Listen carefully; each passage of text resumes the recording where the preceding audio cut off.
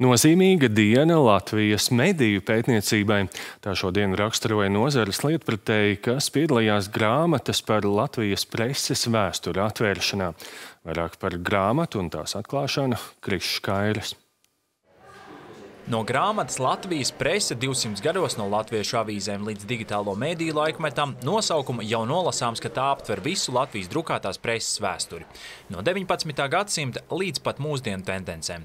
Lai gan digitalizācijas procesi ir samazinājuši drukātās preses tirāžu un lasītāju skaitu, tās nozīme sabiedrībā arvien ir ievērojama. Ziņas ir ļoti daudz, bet interpretācija, skaidrojumu, kaut kādu pozīciju, vērtību skat, kontekstā piešķir profesionāla mediju analīze un, un laikraksti, lai kādā veidā mēs sekotu, dod šo izpratni.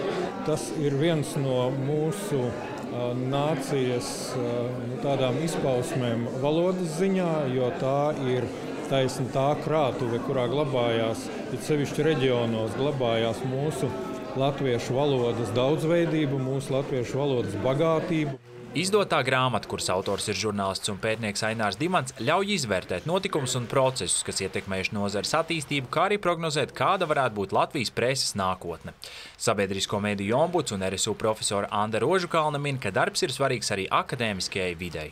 Latvijā līdzīgi kā citās jomās mediju pētniecība, komunikācijas pētniecība ir salīdzinoši maz attīstīta, ir maz darba, ir fragmentēts, priekšstats atsevišķi gadījumi ir izpētīti. Grāmatā vēstīts ne tikai par latviešu medijiem dažādos laikos, bet tas aptver arī mazākumtautību medijas, kas kādreiz darbojušies Latvijas teritorijā.